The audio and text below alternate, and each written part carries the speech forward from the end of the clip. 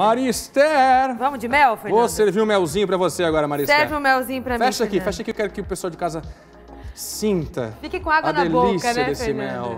Olha que delícia.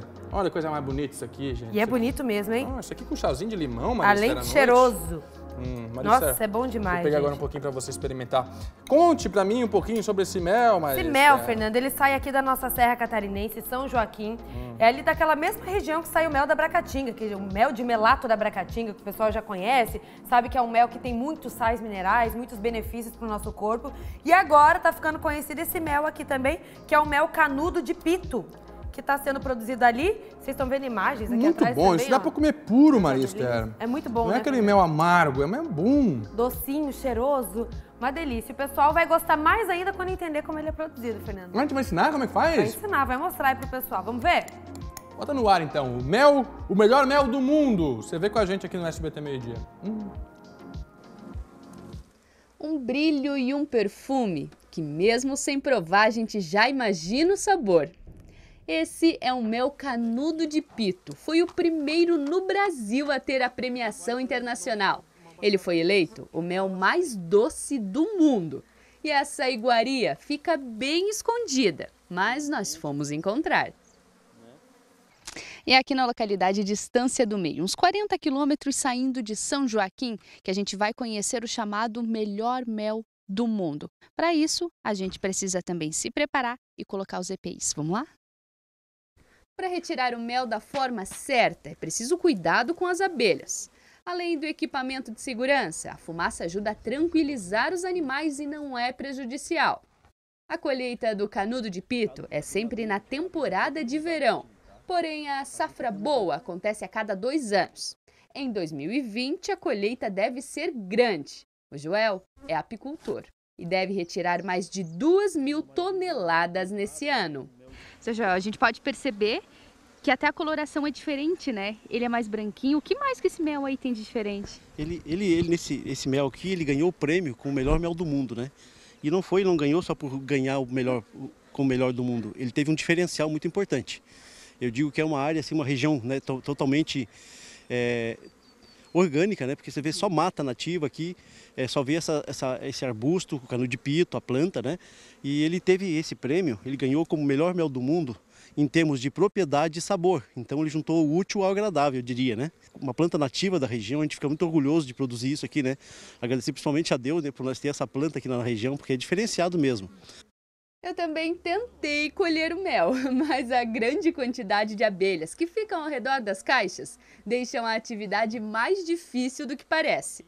Mas ver a natureza trabalhando assim, tão naturalmente, é uma cena que poderia durar horas.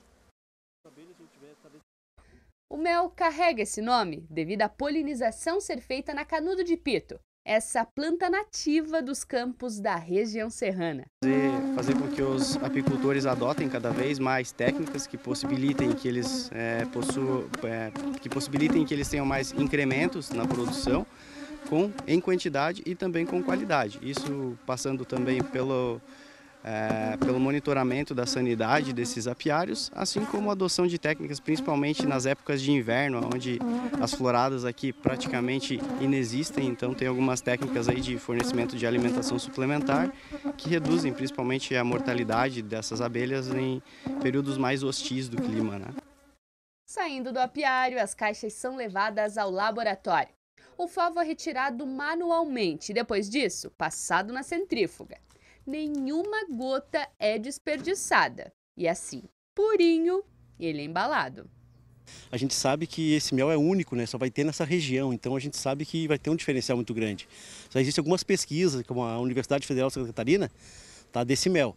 A gente já mandou amostra para eles, já estão pesquisando esse mel, então a gente já sabe que ele vai ter, vai ter logo a gente vai ter um resultado bem melhor dele, né? De mais as propriedades que ele tem, além do, desse sabor único, né?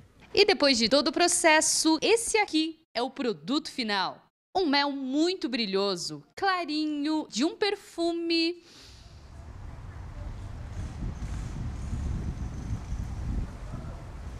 O mel é realmente muito doce, muito saboroso. Eu adorei. E agora vamos ver o que as outras pessoas acham do mel do canudo de pito. O que que você achou do mel? Achei maravilhoso.